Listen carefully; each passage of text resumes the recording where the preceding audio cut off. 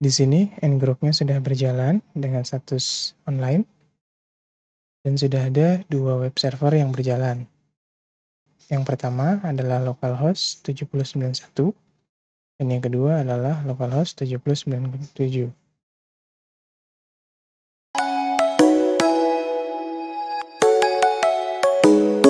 Selamat datang di Frogger Devs. Di video kali ini saya akan menunjukkan bagaimana cara install dan setup ngrok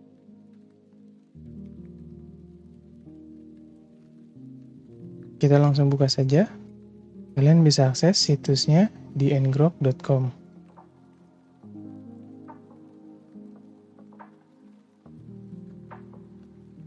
Kita akan lihat pricingnya di sini.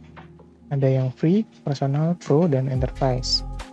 Untuk yang free itu tidak berbayar. Yang saya akan gunakan di sini adalah free, karena saya akan contohkan kalian untuk akun yang free.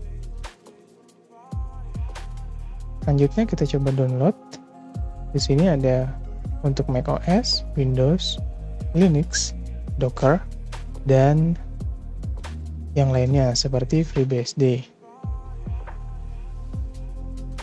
Karena saya menggunakan Windows, saya akan memilih untuk yang Windows-nya.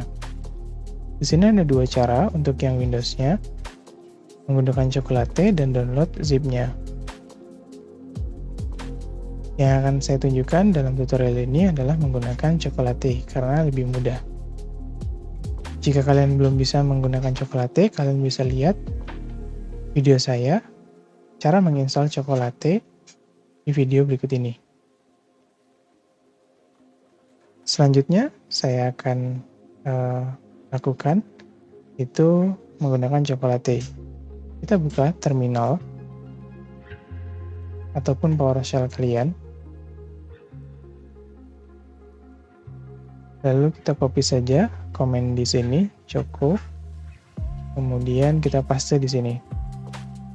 Setelah dipaste di terminal, kemudian tekan enter. Kemudian tekan yes atau y, ketik y dan enter. Dan dia akan install. Di sini karena saya sudah menginstall, Di sini saya menggunakan coklatnya 1.3.1. Kemudian install ngrok-nya dan di sini sudah terinstall untuk ngrok-nya. Saya sudah memiliki ngrok di dalam Windows saya sehingga statusnya already install. Jika kalian belum memilikinya, lakukan cara yang sama kemudian uh, tekan atau ketik Y kemudian enter dia akan langsung install ngrok-nya ke dalam Chocolate. Oke, langkah selanjutnya adalah menambahkan autentikasi token. Untuk mendapatkan autentikasi tokennya, kalian bisa lakukan sign up terlebih dahulu. Seperti saya lakukan sebelumnya menggunakan Versi yang gratis atau free, kalian cukup sign up saja menggunakan akun kalian. Di sini karena saya sudah memiliki akunnya, saya sudah langsung masuk ke dalam dashboardnya. Kalian juga bisa melakukan sign up menggunakan email kalian ataupun menggunakan akun dari GitHub kalian. Oke, di sini selanjutnya karena saya sudah melakukan install menggunakan Chocolate, kemudian saya akan setup untuk autentikasi tokennya. Autentikasi token ini sudah sama dengan di tab yang token ya. Jadi kalian tinggal copy saja. Kalian bisa melakukannya dengan menambahkan di dalam komen terminalnya. Tapi yang akan saya lakukan nanti akan menggunakan file. Nah ini ya, jadi kalau kalian bisa lihat di sini, autentikasi token yang ada di tab tokennya ini akan sama dengan yang ada di setup installation tadi. Kalian cukup copy saja OTO tokennya yang di sini. Nah, ini juga akan sama ya dengan command line ataupun dengan configuration filenya. Jadi di sini ada dua cara untuk menambahkan autokennya. Yang pertama langsung dengan command line-nya di dalam terminal. Yang kedua adalah configuration file. Yang saya akan gunakan di sini adalah configuration file.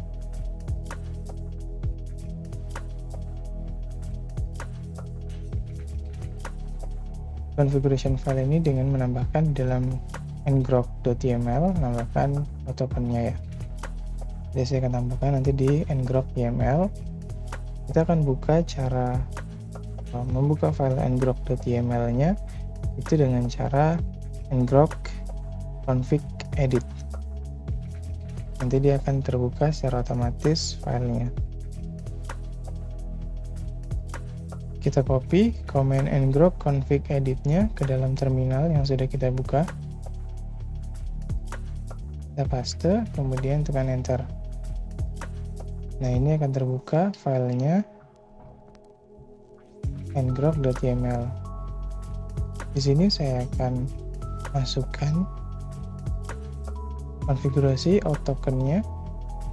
Ini saya copy paste ditambahkan version kedua ya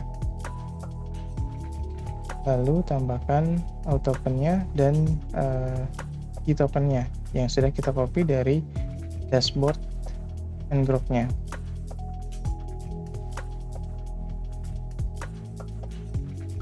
Oke, jadi kita lihat di sini sama ya tokennya yang kita dapatkan dari dashboard setelah kita login kita kita pastikan ke dalam token jadi sesuaikan dengan yang kalian punya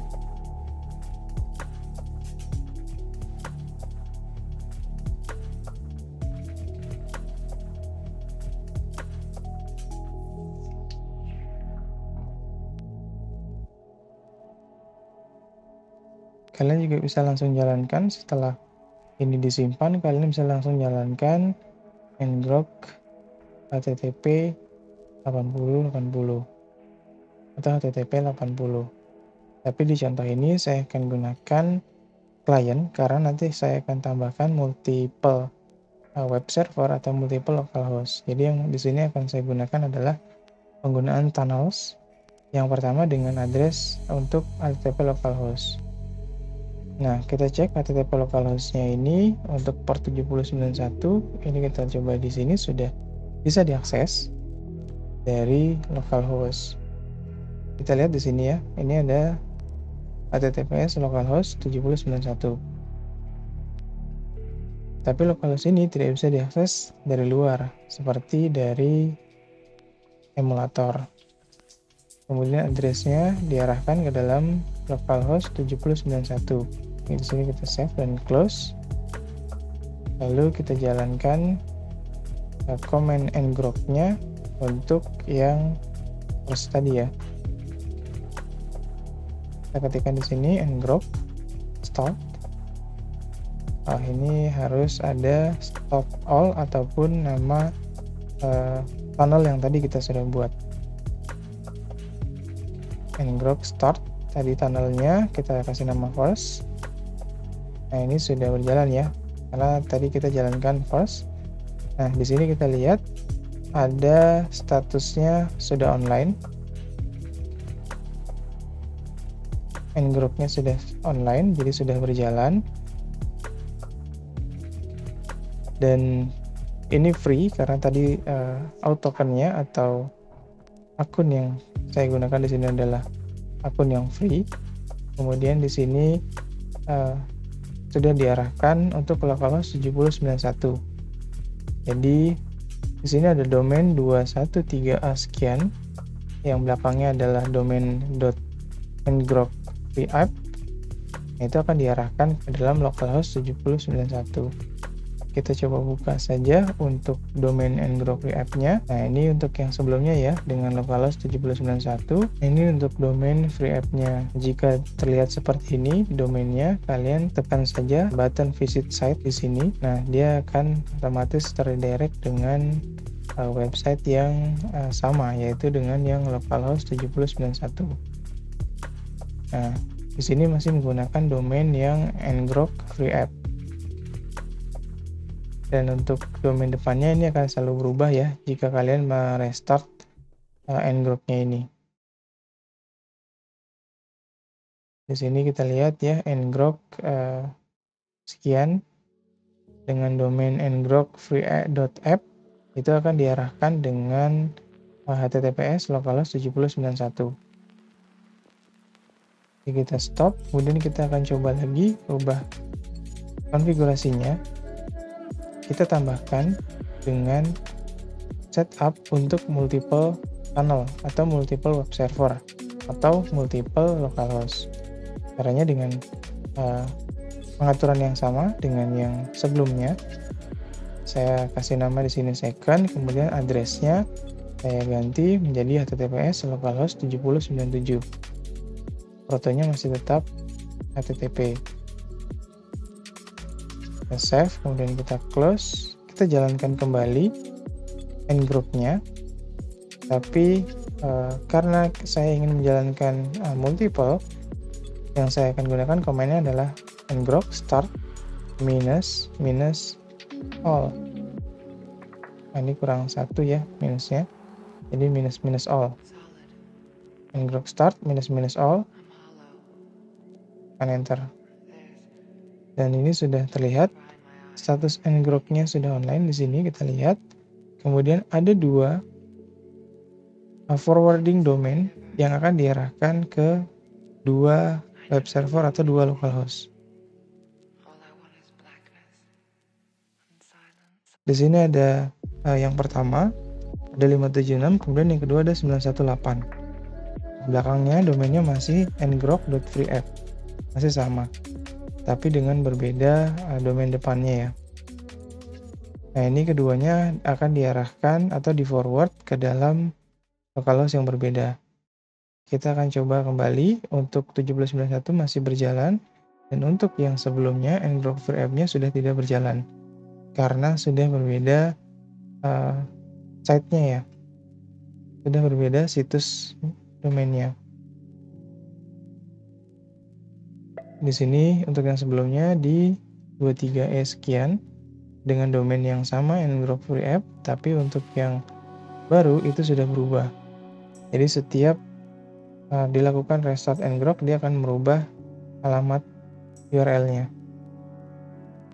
Nah ini alamat URL yang baru sudah bisa diakses. Kemudian kita coba untuk alamat URL yang kedua. Nah ini tekan tombol visit site seperti sebelumnya.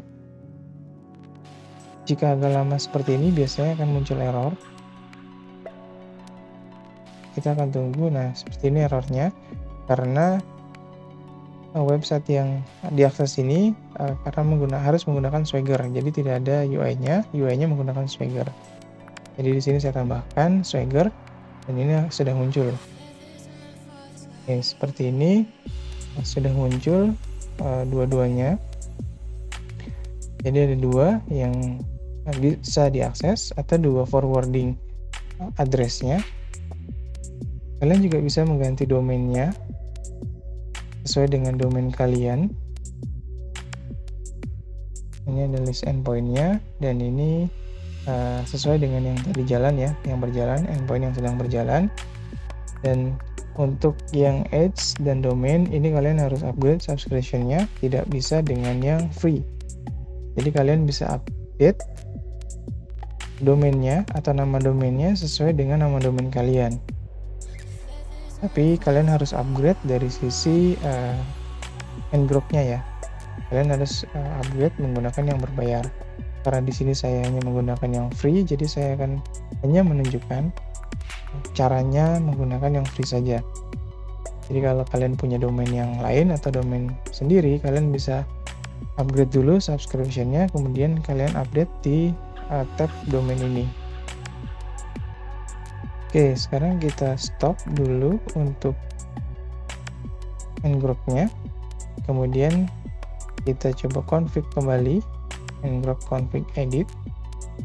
Dan saya akan tambahkan hostname custom domainnya ya mysite ngrok.io jadi saya rubah menjadi mysite 2 dan my site 1. Di sini saya akan coba custom domain, apakah berhasil, kita simpan, kemudian kita close, kita jalankan kembali. Dan ketika dijalankan, karena saya masih menggunakan versi gratis, jadi di sini akan gagal ya. Di sini bisa kita lihat, ngrok-nya masih gratis, harus uh, yang berbayar. Akun yang saya gunakan ini masih versi gratis.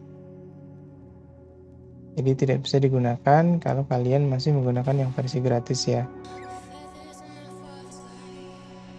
Nah, seperti itu pengaturan untuk custom domainnya. Jadi saya sudah menunjukkan bagaimana cara mengcustom domainnya. Seperti ini ya, hanya tambahkan hostname, kemudian nama domainnya. Sini kita hapus saja, kita save, kemudian kita close.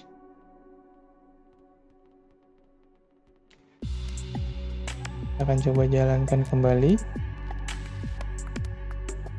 Dan ini kembali seperti semula ya. Dan uh, URL-nya endpoint-nya itu berubah ya. Dengan domainnya masih sama ngrok free app tapi URL-nya berubah depannya. Ini harus kalian visit set kembali.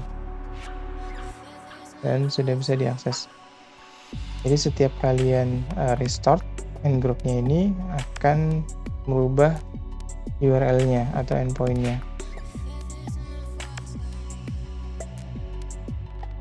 Kalian bisa juga lihat uh, yang lainnya di dalam menu dashboard kalian.